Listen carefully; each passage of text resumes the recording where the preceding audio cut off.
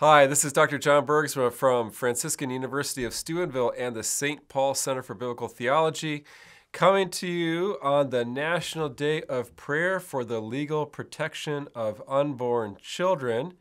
This is usually the day of the March for Life. However, this year, with the presidential inauguration going on this week and all of the complications involved with that, uh, the March for Life is actually going to be next Friday. But nonetheless, this is still the designated day of prayer for the protection of unborn children. So we want to pray for that intention today.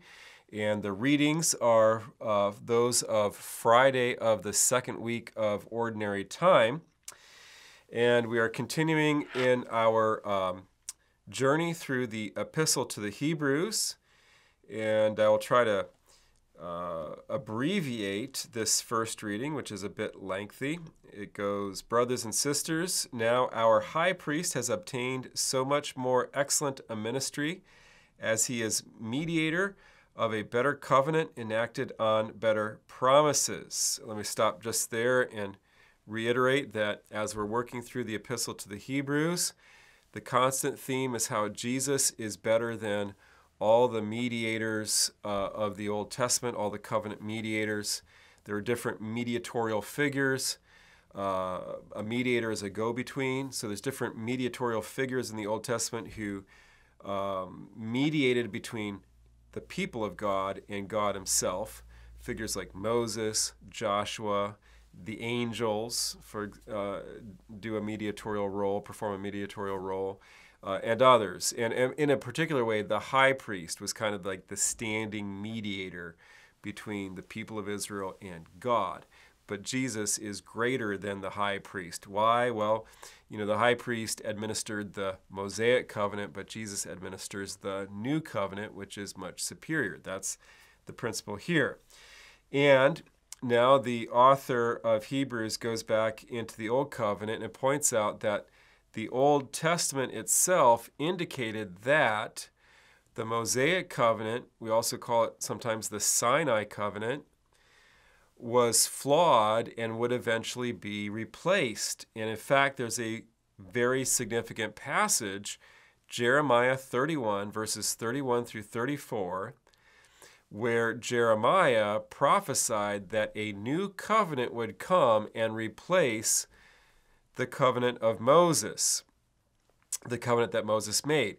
And here in Hebrews 8, our author quotes uh, this whole oracle from Jeremiah. It's the longest quotation of the Old Testament in the New Testament anywhere. Okay, so a little bit of trivia there for you. If ever you ask, what's the longest passage quoted from the Old Testament that you find in the New Testament? It's here in Hebrews 8. We're just quoting from Jeremiah 31. For if that first covenant had been faultless, the author says, no place would have been sought for a second one. But he, meaning God, finds fault with them and says, and here he's quoting now from Jeremiah 31, beginning in verse 31, going through verse 34 Behold, the days are coming, says the Lord, when I will conclude a new covenant with the house of Israel and the house of Judah. It will not be like the covenant I made with their fathers the day that I took them by the hand to lead them forth from the land of Egypt, for they did not stand by my covenant, and I ignored them, says the Lord. Okay? Now, what is this covenant that I made with their fathers in the day when I took them by the hand to lead them forth from the land of Egypt? That is obviously the Mosaic or Sinai covenant. Okay?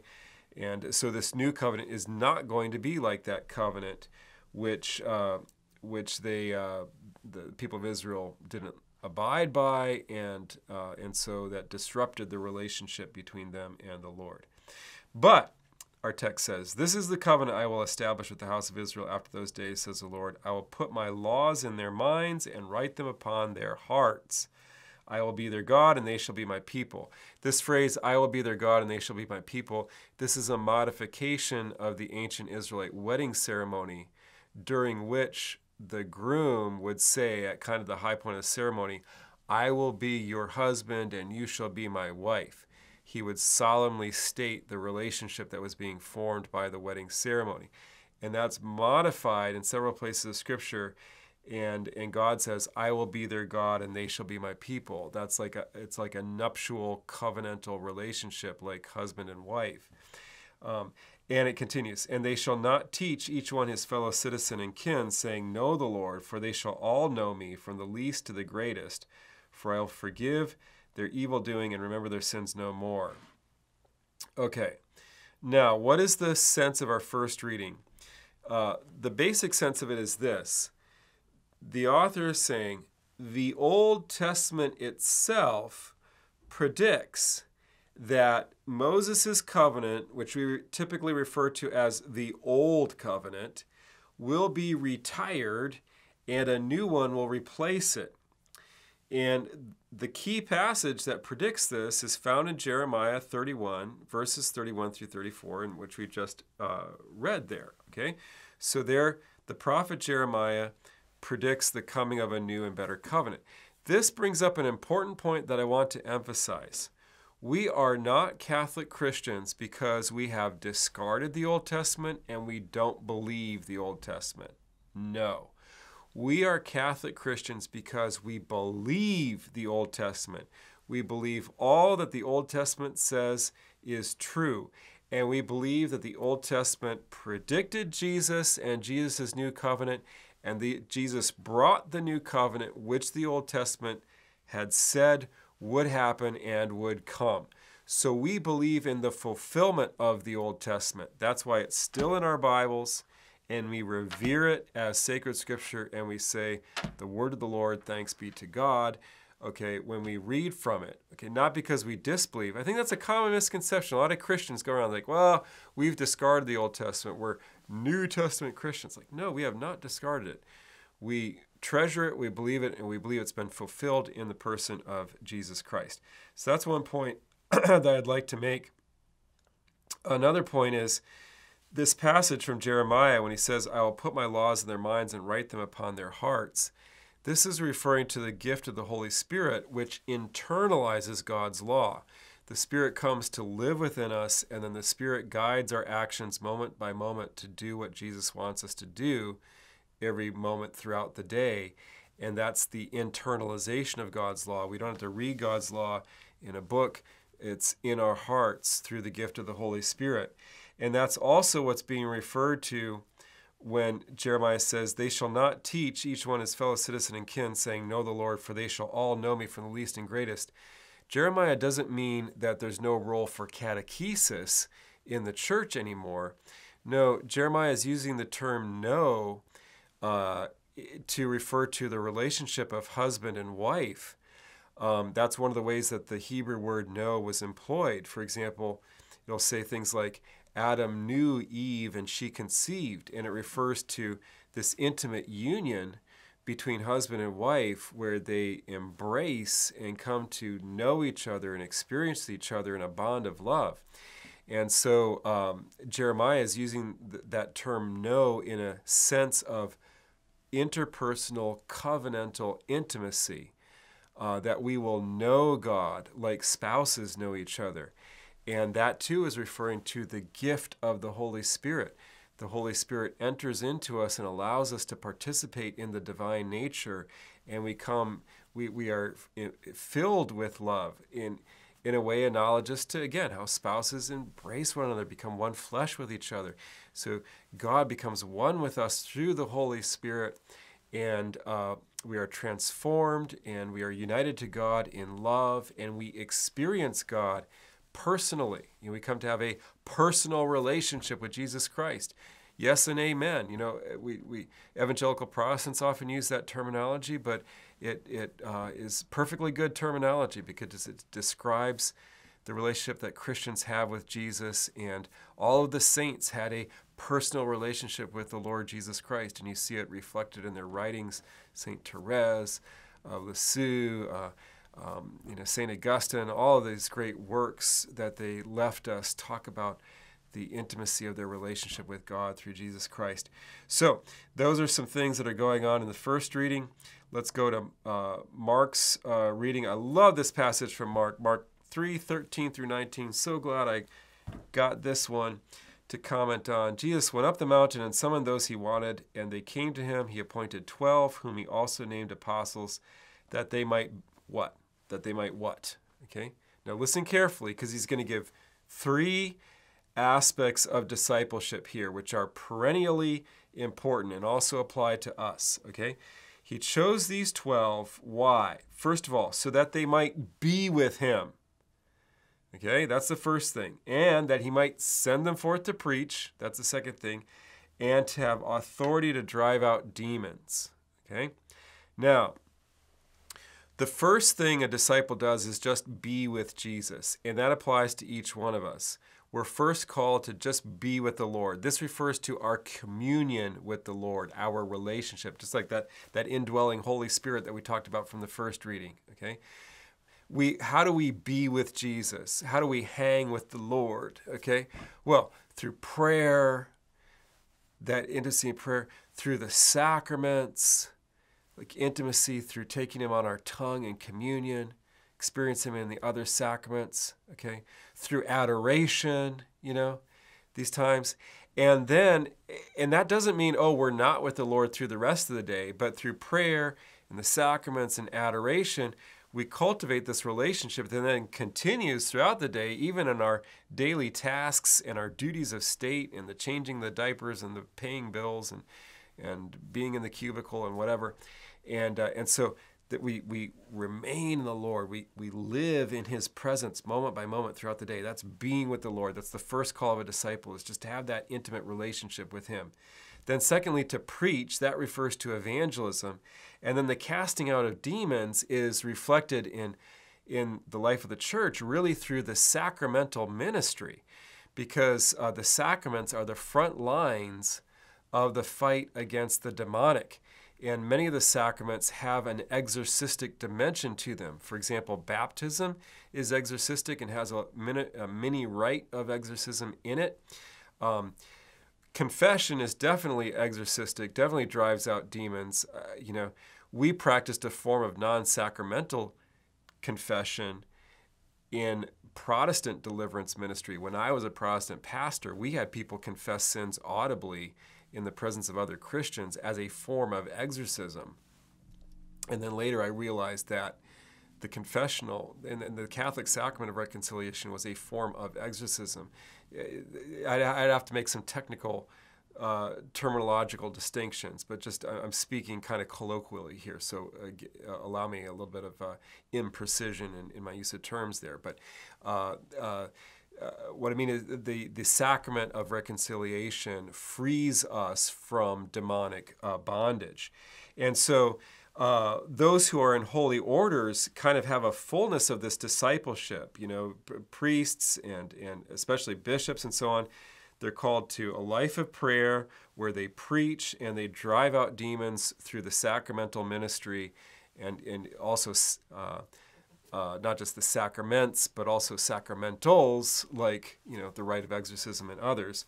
And then it lists the 12 apostles. So those are fundamental pillars of discipleship being with the Lord, doing evangelism, telling others about Jesus, and then for lay people, inviting others to the sacraments, and for uh, the clergy, uh, celebrating the sacraments. And now, since it's the day of prayer for the um, uh, legal protection of the unborn, I want to focus on that demonic because one of the manifestations of the demonic in our society is abortion.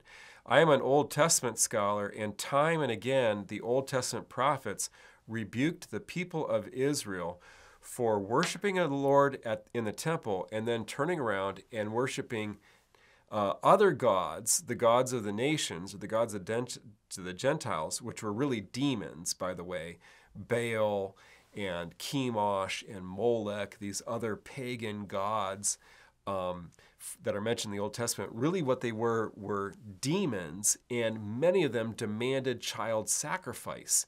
And not only the nations around Israel worshiped these gods by sacrificing their children to these gods, but even the Israelites were sucked into this, and they would worship God in the temple one day and turn around and uh, sacrifice. Uh, uh, their children uh, to these demons. And I am convinced that the modern practice of abortion is just the unholy resurrection of this ancient pagan practice of worshiping demons through this, the bloody sacrifice of children. And we have this going on, and basically, what we're doing in this country and in many countries is literally sacrificing millions of our children each year on the altar of our gods of uh, prosperity and pleasure. Okay? And those are always the, the, the primary gods. Back in, in ancient times, Baal was the god of prosperity, and Asherah was the god of pleasure. She was the, the Venus god, the god of, uh, in particular, sexual pleasure. And so in this country and in many others, we have we practice deranged sexuality. We don't practice sexuality within marriage. We fornicate. Um, we conceive children out of wedlock, which is never God's intention. God's intention was always that each child would come into the world with a father and a mother who were committed to the child and to each other. It's an unbreakable triad. I'm committed to your mother, and I'm committed to you, my child. I'm committed to your father, and I'm committed to you, my son. Okay? That that's the model. That is the model of the Trinity and that is God's intention. And we don't follow that. We fornicate, we conceive children out of wedlock, and then we offer them on the on the altar of the gods of uh, of of pleasure and prosperity for the sake of oh that I can have a comfortable life. You know, a kid is going to drag me down, is going to derail my plans for my life, and so. Uh, I'm going to get rid of my problem, as Pope Francis says, by calling in a hitman. That's how Pope Francis uh, describes um, uh, abortion as a kind of assassination. Now, the, the, you know, uh, we want to have compassion on all who are sucked into this practice, who are told lies and told that it's a good thing and so on. And many people get sucked into that and, and then regret it. And it's a great tragedy. But in the bigger picture, it is just an objective evil and it is a worship of the demonic and we need to pray uh, about this, and uh, it should become an unacceptable thing in our political and social culture. Uh, thanks be to God, racism and uttering racial slurs have become completely unacceptable in our society, such that if somebody gets up in public and utters racial slurs, their political career is over, okay? That person is not going to hold uh, public office. We just don't tolerate that. Uh, I uh, hope and pray that the day comes when a politician gets up and says, I believe that the killing of unborn human children should be legal. We would say, sorry, that's it. Okay, your career is over. We are just not going to consider you for public office. That's how it should be because the evil of abortion is such an offense to God. It deranges society and, and ruins, kills millions of lives and ruins millions of other lives. So let's pray for the power of the Lord Jesus Christ, the God man, to overcome the powers of evil in our society, which are only here because we consent to them and we keep inviting them in by our decisions, but at, let's ask the Lord to fill us with His Holy Spirit to drive out this evil from ourselves and from society on this day, uh, because He is the King forever. Uh, especially on this day when we read about him setting up his 12 princes over his kingdom, as we see in Mark 3. So, this has been Dr. John Bergsma from the St. Paul Center for Biblical Theology and Franciscan University of Steubenville coming to you on this day of prayer for the legal protection of unborn children, which falls on the second, uh, the Friday, I should say, of the second week of ordinary time.